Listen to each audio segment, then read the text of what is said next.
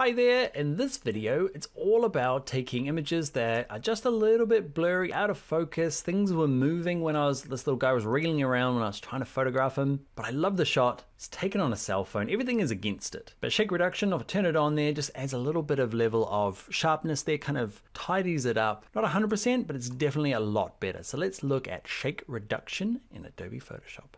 To get started, let's open up the two images, uh, Shake Reduction 1 and 2 from the O4 Fixing Images folder. Now the trouble with fixing this particular image, it's really hard to find stock library images of bad images. So you have to dive into your own images and then you're like, who's gonna put up a fuss? My baby's not gonna mind if I use him and I'm not gonna mind. Phil might mind, but Phil doesn't even have an internet connection, so he's not gonna know.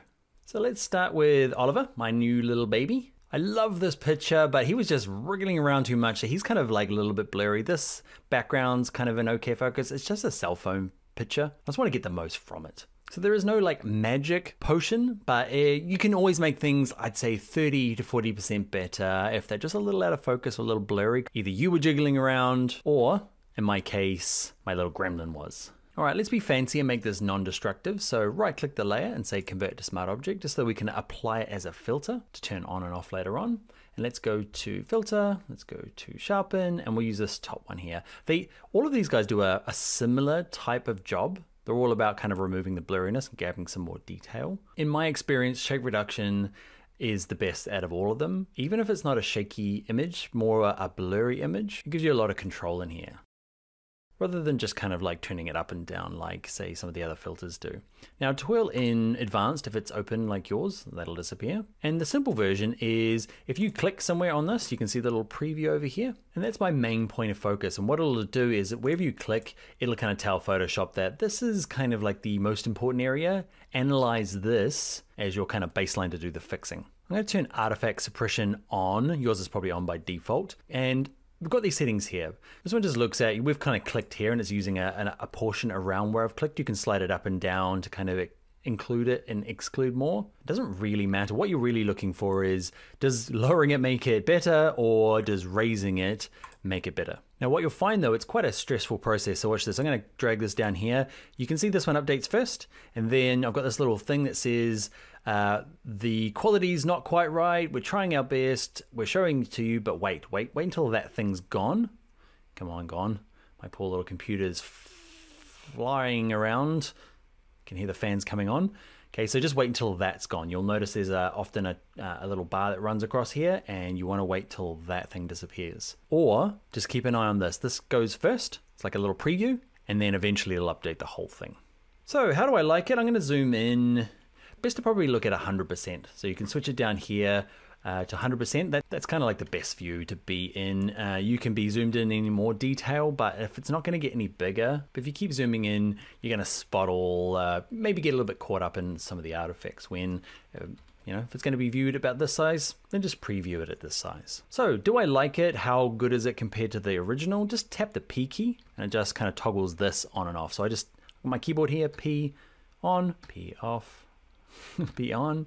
You can see it's doing a pretty good job. Okay, it's just like like I said, it's like it's definitely like I'd say 30% better, maybe 40% better. A lot of details in here are great. Okay, his uh, clothes get a lot sharper. So that's with it on, off. Give it a sec. On, you can see it just kind of flicking over here. Now with these other two settings here, like this one up the top here, don't worry too much about what it's like, what these mean although this one's quite obvious. Okay, you just got to look at the end result. Okay, smoothing up high just gets really milky, which might be necessary in some images. Remember, I'm waiting for this to be finished or I'm checking it in here, okay, because I don't want to kind of make my decision based on this low res preview. Don't like it, P on. I'm just tapping the P key, P, P. Actually, smoothing, yeah. I'm gonna keep it reasonably low. Artifact suppression, same thing, on or off. And basically what this means is we're using shake reduction. If I turn artifact suppression all the way down, I'm using 100% of the shake reduction. If I turn it all the way up here, it's actually doing absolutely nothing, the shake reduction.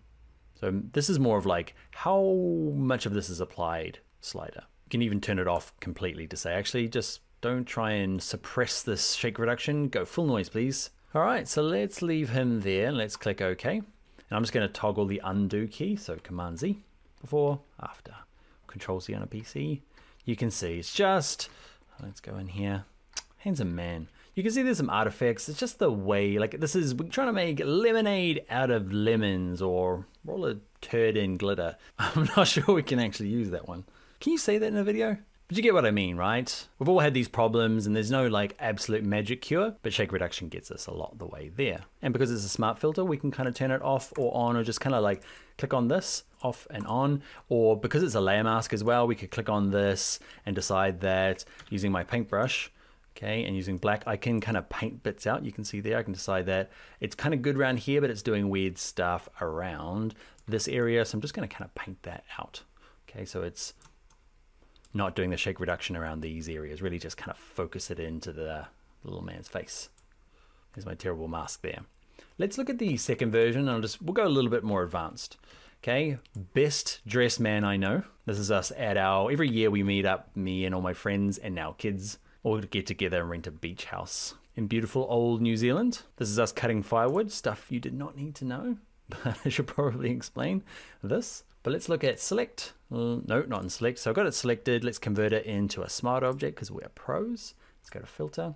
Let's go to sharpen. Let's go to shake reduction. And the difference between this one and the last one is that there's kind of like two focus areas. So what we can do is twirl down advanced. And what we can say is grab the center of it and say that there is something that's quite important. Okay, Cypress Phil's face. And there's another one here. I'm going to click once on my face actually click and drag around my face. Okay, so there's kind of two parts. There's this one and then there's this one.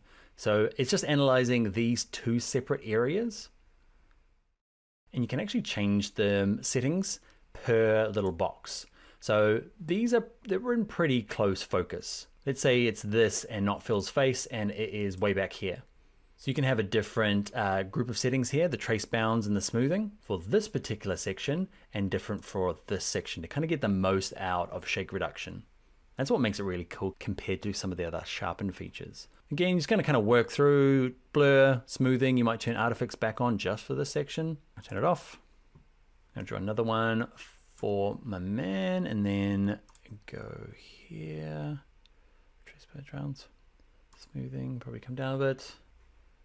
How's this one doing? I'm happy with that. Let's click OK.